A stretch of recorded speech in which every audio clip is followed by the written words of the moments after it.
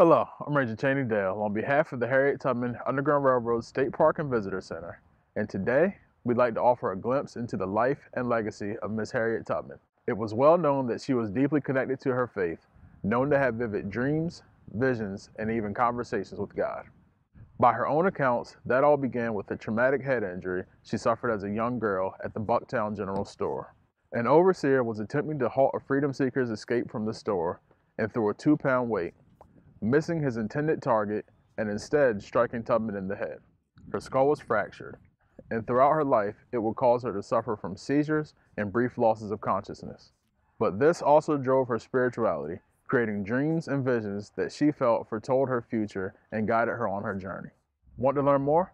Please come visit us here at the Harriet Tubman Underground Railroad State Park and Visitor Center. We look forward to seeing you.